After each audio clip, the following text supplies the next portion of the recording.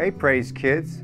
It's Pastor Steve here with a lesson for you today about how God is all knowing. That means He knows everything all the time. And to tell us a story today about how God is all knowing, I've got a puppet, but it's a real little one. It's called a finger puppet. See him? Now, this finger puppet is a man named Jonah. Now, God, because He's all knowing, knew that the people of the city of Nineveh were acting very bad. God also knew that they were going to get punished for the way they were acting.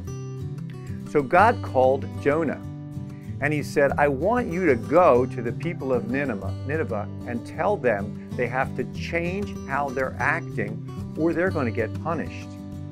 Well, Jonah didn't like the people of Nineveh. He actually wanted them to get punished. So even though Nineveh was that way, Jonah went that way. In fact, Jonah got into a boat because he wanted to sail as far away from Nineveh as he could get. But God knows everything, and he knew that Jonah wasn't doing what he was supposed to do.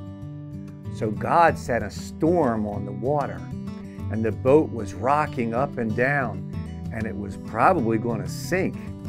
Now, there were other people on the boat with Jonah, and they said, What's going on? Jonah said, It's probably because of me. God told me to go that way, and our boat is going this way. And they said, Well, what are we going to do? Jonah said, You're going to have to throw me overboard. And they didn't want to, but he said, You're going to have to. It's my fault. I'm not listening to God. So they did. They threw Jonah overboard, and the boat kept going because the storm stopped. Meanwhile, Jonah was going down and down and down in the water. But guess what? God was all knowing. So he sent a big fish. And the big fish swam over and swallowed Jonah.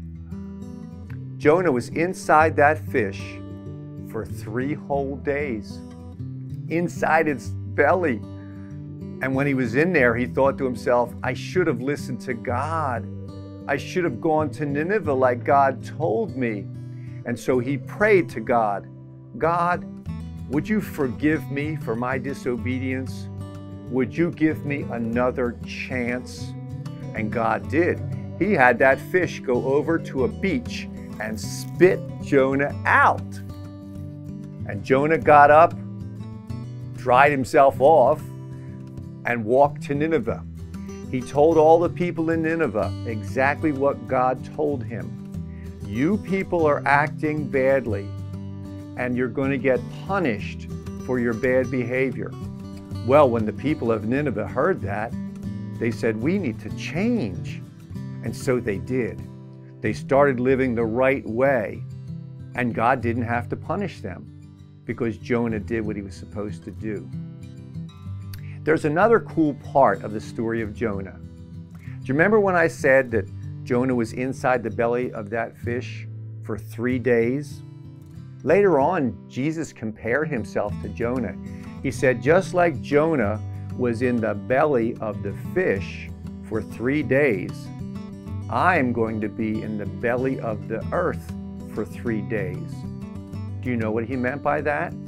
He meant that they were going to bury him after he was crucified. But just like Jonah came back out of that fish, Jesus came back out of his grave. So it's a cool story about Jonah. It's an even cooler story about Jesus. He came back from the grave resurrected to show us that he has the power over death. So, what can we learn from this? First, we know that God is all knowing. When Jonah decided to go the other way, when Jonah decided to get in a boat and sail away, did God know about it? He sure did. He knows everything. When they threw Jonah overboard and he went into the water, did God know about it? He sure did. He sent a fish to kind of rescue Jonah. When Jonah prayed and asked God for a second chance, did he know about it? He sure did. God knows everything, and He cares about us. He cared about Jonah enough to save him, but He cared enough about the people of Nineveh to make Jonah go there and do what he was supposed to do. And God cares about you too. And He knows everything about you. And He loves you. And you know what? I love you too. So thank you for watching today. And I hope you remember the story of Jonah. God bless. Bye bye.